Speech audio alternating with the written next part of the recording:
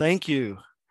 It's so good to be with you all today at the Colombo Network National ELT Conference. My name is David Harrison. I'm a linguist and an anthropologist, and I explore the world's most endangered languages. And I also help with language revitalization projects around the globe. I've also been honored to serve as a National Geographic Explorer. And I want to say, on behalf of our whole team at National Geographic Learning, thank you for the vital work you are doing as educators. Most of you are in Colombia. I understand there are about 600 of you attending this meeting, and I truly wish I could be there with you personally. Colombia is a special place for me. I've enjoyed walking around the streets of beautiful Bogota, taking the teleférico up to Monserrate to look over the city, and of course, your cuisine. I especially like ajiaco, your version of chicken soup. And I've always appreciated how patient Colombians are with me when I speak my version of Spanish. I've met some remarkable people in Colombia, people who I would call language warriors, who represent the cultural richness and resilience of Colombians. I'm going to come back to Colombia at the end of this talk, but first, I'd like to take you on a virtual visit around the world to better understand the current state and the importance of language diversity. I'm going to share my screen now.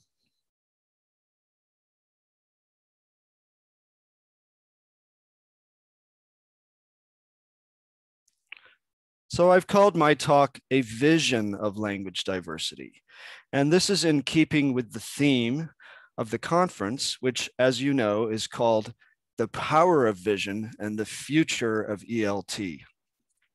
I'm going to be talking about my vision of a multilingual world and the value and vision that is provided by language diversity. As I said, I'm a linguist. I travel around the world to remote places. I love my job. I get to meet some of the most amazing people. This is a picture of me in the South Pacific in Vanuatu doing what I do, which is simply sitting down with people, listening to their stories, recording their knowledge and their wisdom that they choose to share with me, and building digital tools to help revitalize their languages. There is an immense amount of linguistic diversity in the world. More than 7,000 languages are currently spoken. And we estimate that almost half of these languages are endangered and will not survive this century. So there's a sense of urgency to this work as well. Now, the world's languages are demographically very unevenly distributed. The 83 biggest languages in the world account for about 80% of the world's population. The medium sized languages, approximately 3,000, account for about 20% of the world's population. And the smallest languages of the world, more than half of the world's languages, are spoken by just 0.1% of the world's population. So we have a very skewed knowledge base, a skewed distribution of the world's linguistic and cultural knowledge languages are endangered like species, plants, animals, birds, and fish, but they are much more endangered. And there are connections between these two parallel extinctions. Most of the world's species have not yet been documented by zoologists, botanists, and other scientists. Most of the world's languages have not yet been recorded or documented by linguists. Now, when I said that plants and animals have not been documented by scientists, that doesn't mean they're unknown to people. And it turns out that most of the plants and animals in the world are well known to people, but people who speak minority, small, endangered languages. And so there's actually a deep connection between biodiversity and linguistic diversity. As we lose languages, we are losing knowledge about plants and animals that are known to people, but are not yet known to science. A few years ago, with help from National Geographic Society, I launched this map. This is the language hotspots map. And it shows those critical areas around the world that are characterized by three parameters. The first characteristic of a language hotspot, it has a very, very high diversity of languages. The second characteristic is that it has high levels of language endangerment. And the third characteristic is that it has low levels of language documentation. So where we have many languages, many endangered languages, and little or scanty scientific documentation, we have a language hotspot. This map shows 13. There are actually 24 hotspots that my team and I have identified. And with support from National Geographic, we've been visiting the hotspots, talking with some of the last speakers of the world's most endangered languages, recording their stories, and building digital tools to help them revitalize their languages. So I would like to invite you today to come with me on a virtual tour of the world. We're going to visit three language hotspots. The first one will be in Siberia, where it's usually pretty cold. The second hotspot will be in a place where it's almost always warm. That's the South Pacific in Eastern Melanesia. And the third is a place that for many of you is much closer to home, and that is South America.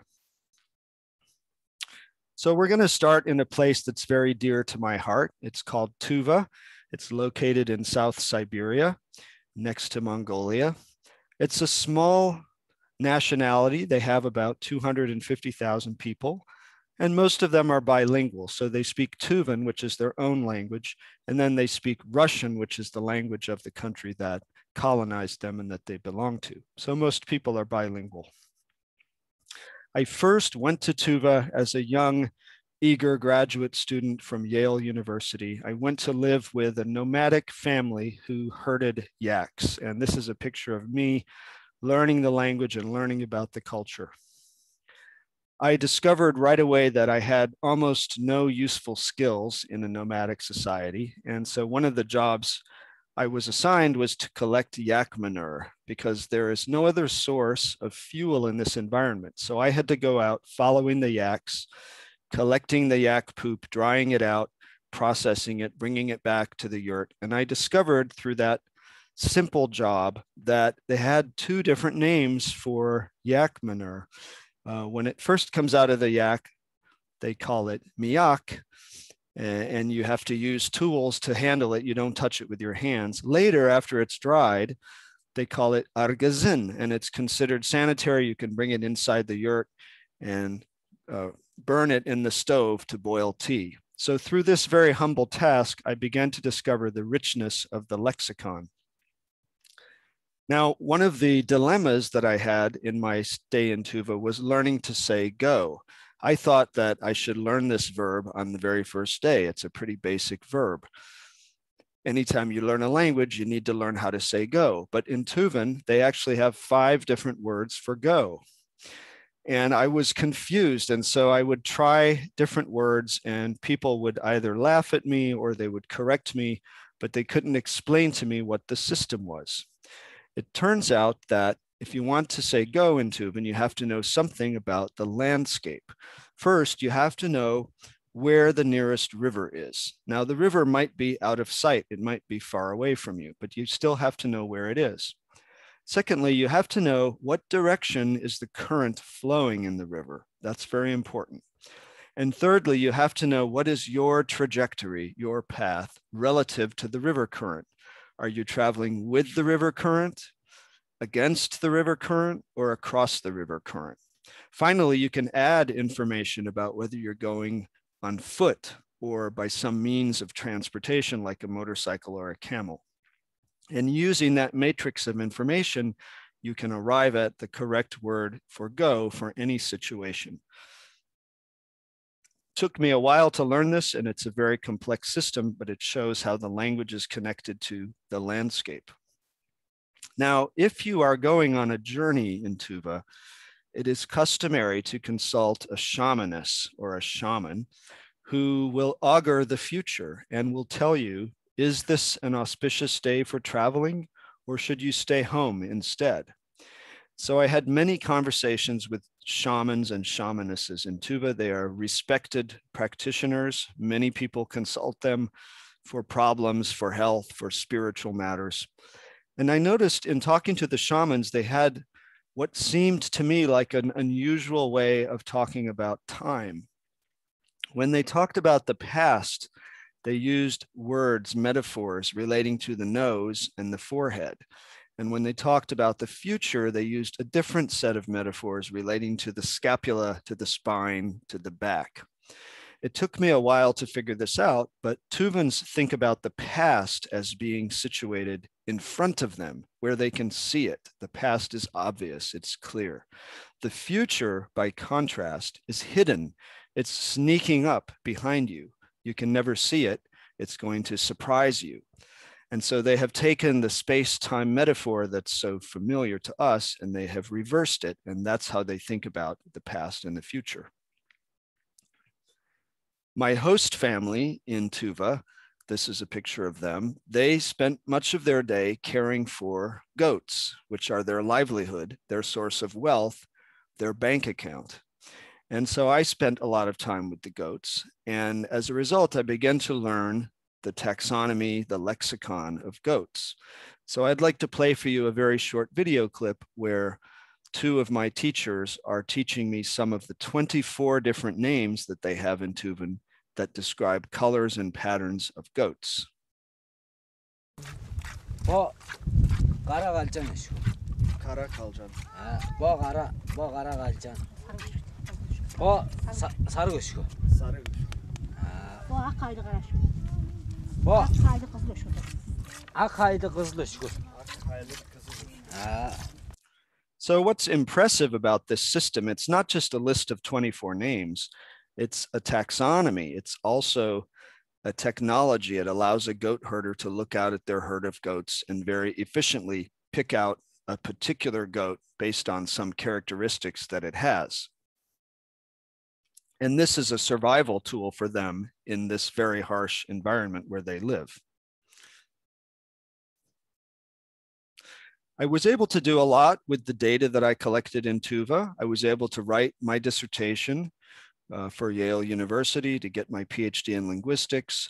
I was able to write a dictionary and a grammar of the language, but these things were of very little interest to the community. And so I wanted to do something more than just publish academic products that were not helpful to the community. And I decided to embark on really what has now been a 20 year journey for me, which is helping small language communities sustain their languages. So the lessons that I learned from living with the nomads in Tuva, which was a very humbling and yet transformative experience for me, was that language is not, as we're taught in linguistics, contained within the brain. It's something much greater, it's much larger. And living with the nomads helped me appreciate how languages are, languages are connected to land, to landscapes, to rivers, to mountains, to goats, things like that. So a crucial lesson for me is that language is not just a cognitive phenomenon. It's not just something that we think or, or perform in our brains. Actually, it spills out of the brain, it spills out of the head, and it is capacious. It encompasses not just grammar, but landscapes, goats, rivers, plants, metaphors, time, and space. It's so rich, and it presents a completely alternative worldview to the one that we may be familiar with. It's also a vast environmental knowledge base and one that is eroding and vanishing, but can only be accessed within these languages. This is the connection I mentioned earlier between language diversity and species diversity. So we've been in Siberia in a remote part of the world. We're now going to move to another language hotspot in the South Pacific, a place where I have been working for the past five years, the South Pacific island nation of Vanuatu. Vanuatu is a small archipelago in the South Pacific. It has a population of 250,000 people, but it is also the number one language hotspot in the world. What do I mean by that? Well, I said that language hotspots have a high density of languages. And indeed, Vanuatu, with only 250,000 people, has 113 languages. This is an astonishing amount of language diversity. I've spent many hours working with local communities on different islands in Vanuatu. This is uh, seen on Futuna Island, working with experts to create talking dictionaries for these languages and to share their knowledge. And I want to share a little bit with you of what they have shared with me. This is a typical scene. So they live off of the sea and off of their small gardens where they grow vegetables. And so this is a very typical scene where uh, two friends of mine, Orion and Chris, have been out fishing in the lagoon. And they come in with their canoe and they show me what they have harvested from the sea. So I'll play this clip for you.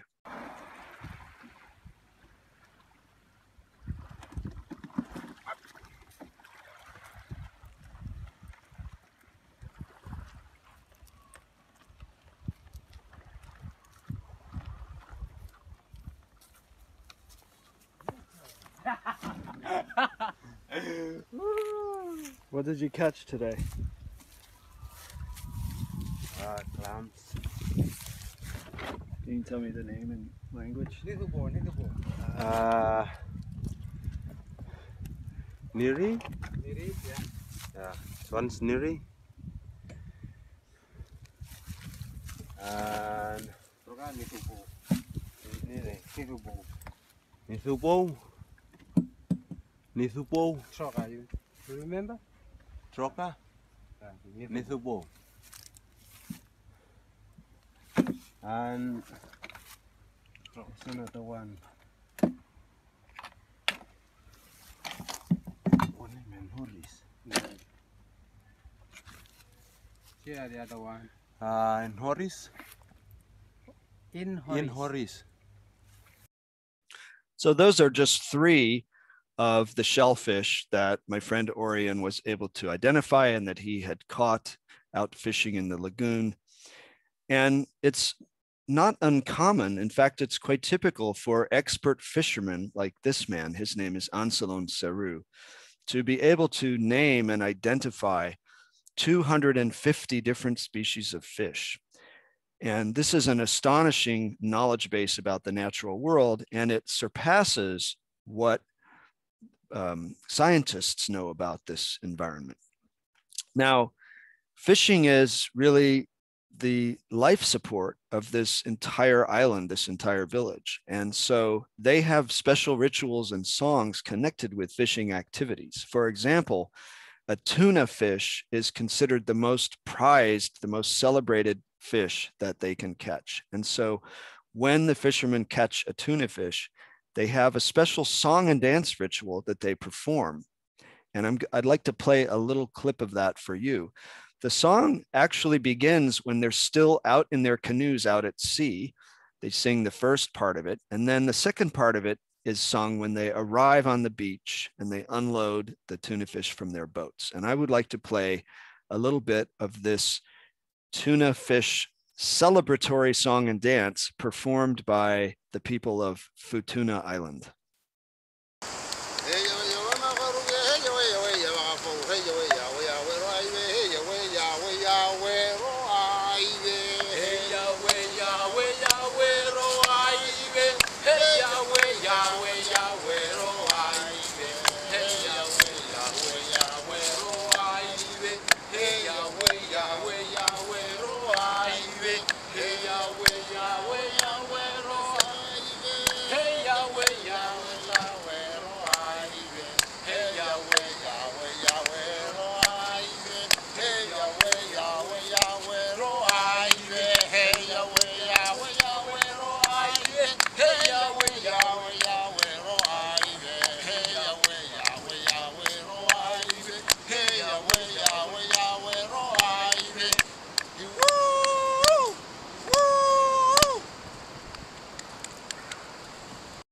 So the next time you eat a fish, you can think about this joyful song and dance celebration of the people of Futuna Island and what it means to them. Now they continue singing this song as they leave the beach and they carry the fish up to the village where people are preparing to eat it. And the irony here is that the fisherman, so this man, Anselon Seru, who caught the fish will not be allowed to eat it, not even a single bite of it. There is a strict taboo, and the fishermen who catch the fish are not allowed to eat the tuna fish. They can only eat the smaller more bony, less, less tasty fish, even though they have provided this food for the whole community. So, what happens if you're a fisherman and you've just caught a beautiful tuna fish, but you're not allowed to eat it? You have to watch other people in the village eating that fish. Well, for Anselon, he has a digital solution to this. He takes a photo of the fish and he puts it on his Instagram feed. That's right. This remote island in the South Pacific is connected to the global information network, and they use social media to share their culture. It's really quite remarkable.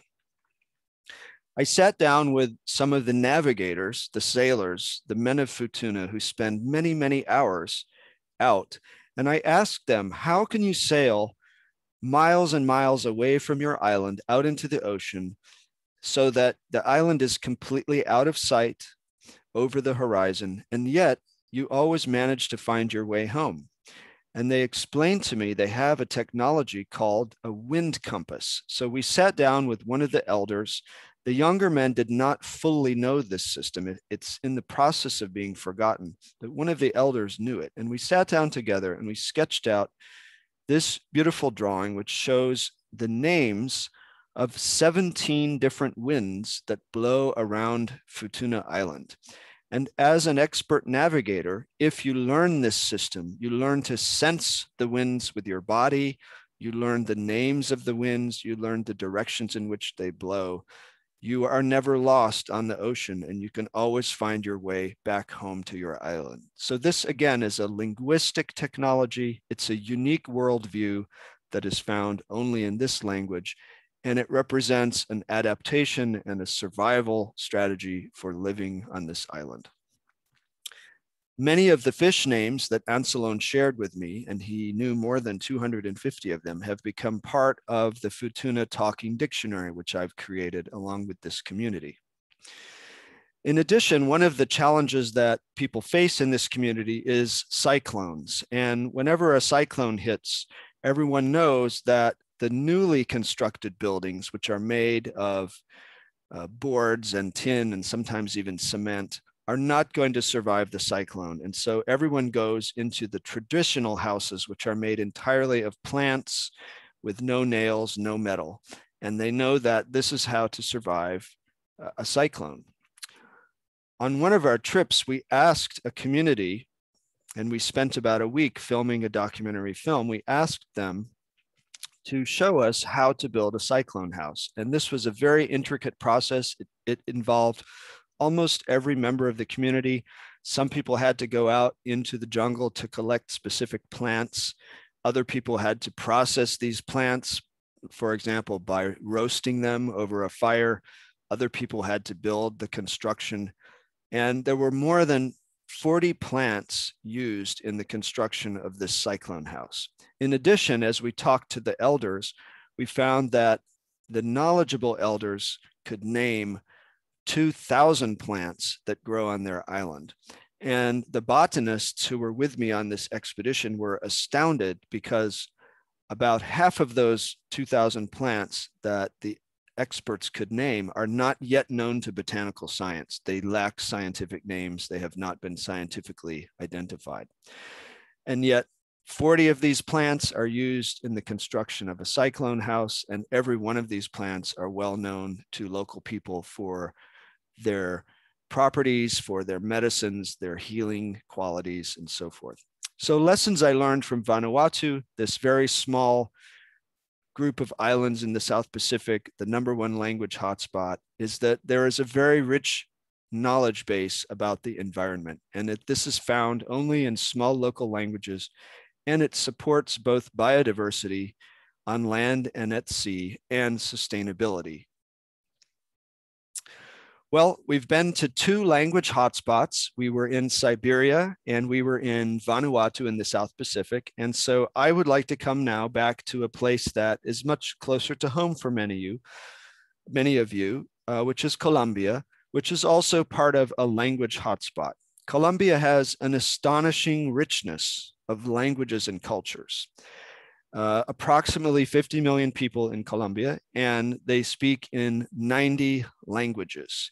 Now, here is a map from the Ethnologue, and you won't be able to see the small print on this map, but I would like to draw your attention to the color blocks on this map. Each color represents not a language, not a single language, but in fact, an entire family of languages. So you see the orange and the blue and the pink and the green and the brown. Each one of these represents a family of related languages. And if we count up all the languages of Colombia, we have 90 languages.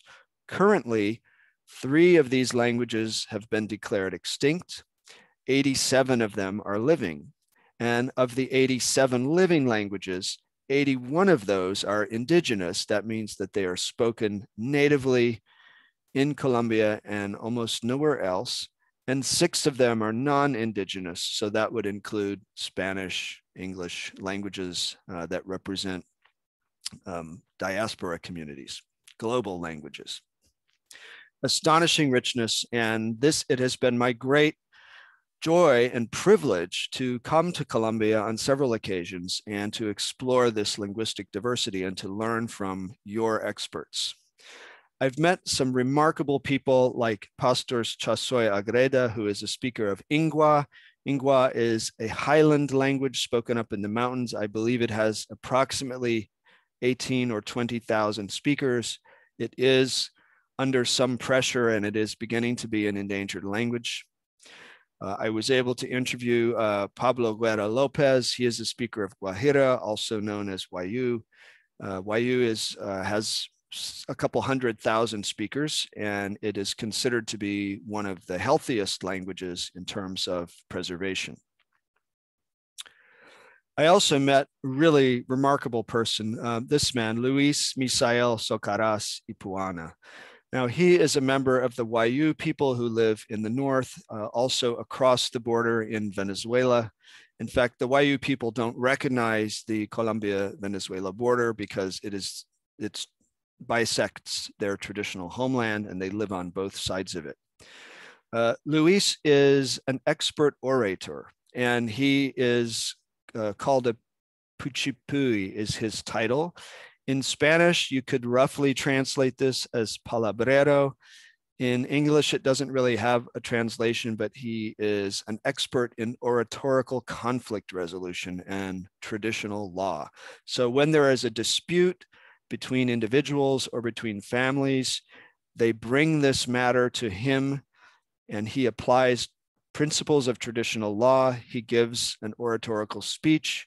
He weighs the conflicting claims and he may decide on compensation to be paid by one side to the other, thus restoring social harmony and preventing conflict. And so he is a wise man. He is uh, a judge. He is a person who carries the traditions, and his power resides in his words and his ability to command the words and the language. So, this is a remarkable thing. When I met Luis, one of the first things I asked him was, How do you say hello in Wayuunaiki, which is the name of the language? Or how do you greet someone in Wayuunaiki? And Luis explained to me that when one Wayu person greets another, they say, Jamaya Pu Lapuing, Jamaya Pu Lapuing. And this translates as, How was your dream? How was your dream? Dreams are so central to the Wayu way of life, and they express a Wayu mythic cosmovision, what you, you say in Spanish, cosmovisión mítica. Now, the modern Western mentality tries to separate the mythical and the religious from rational or scientific ways of thinking. The Wayu people, by contrast, unify these two modes of thinking. According to the Wayu writer Jose Angel Fernandez, he writes, quote, the Wayu live by dreaming and ritualizing, which allows us to express behaviors and attitudes that nourish the magical religious world of the Wayu every day the Wayu constantly intertwine the everyday with the magical. According to another Wayu writer, Ramon Paz Ipuana, the Wayu, quote, cultivate collective memory, starting with the ancestors, recording primordial origins, The spirit of this memory is reflected in the mirrors of time that stretch back into the past, flow into the present, and project into the future. End quote. This Wayuu cosmovision constantly interweaves the future and the present. And this is why dreams are so important. And this is why, when one Wayuu person greets another, they ask, Have you had a dream? They believe that the ancestors visit them in dreams. Dreams are the pathway, the communicating vessel through which the spirits of deceased ancestors establishes spiritual contact with family, friends, and enemies. Now, this powerful mythical cosmovision of the Wayuu people is, is not isolated to them. In fact, it's world famous and it is known to the world through your most famous and celebrated Colombian, Gabriel Garcia Marquez, who introduced his magical realism genre to the world, achieved worldwide renown, and of course, won the Nobel Prize for Literature. This is, of course, standard reading, but not only in Colombia. Every high school student in Canada, in the United States, is familiar with and is exposed to the works of Garcia Marquez. He is truly a global luminary. Uh, but much of his inspiration and his magical realism, in fact, comes from the Wayuu cosmovision. Um, it's known he was raised in a Wayuu cultural setting and he understood the language. He was raised by a grandmother who was part Wayuu, who spoke the language. He was raised by caretakers who spoke to him in the language. And even as an adult, he remembered many of these phrases and stories from the language and wrote about it. His grandmother was an especial inspiration to him, and she practiced a magical style of oral storytelling. He writes in his autobiography that she, quote, inserted extraordinary events and anomalies as if they were simply an aspect of everyday life, end quote. He described her as, quote, the source of a magical, superstitious, and supernatural view of reality, end quote. So, this transculturation of ideas from the Wayuu language, from the Wayuu cosmovision into Spanish through the works of Garcia Marquez, and then to the rest of the world in translation is one of the great examples of how language contact and language learning can provide a portal into other worlds. Anyone who reads the novels of Garcia Marquez benefits from being exposed to Wayuu cultural ideas, even if they know nothing about it or have no direct contact. Another activity of mine in Colombia was working with the Smithsonian Institution, which is our national museum, to invite a delegation of cultural experts from Colombia to Washington, D.C., where they shared their culture with a million visitors over 10 days at this important cultural festival one of the most striking performances that they gave at that festival was the Wayuu dance called the Yonna, also called the Chichamaya. This dance expresses deep Wayuu cultural values. It expresses relations between the genders. It can serve as a kind of a courtship dance, but it also has a spiritual dimension in that it works for the improvement of relation between human beings and spiritual forces, such as the rain god, which the Wayuu believe influences the weather.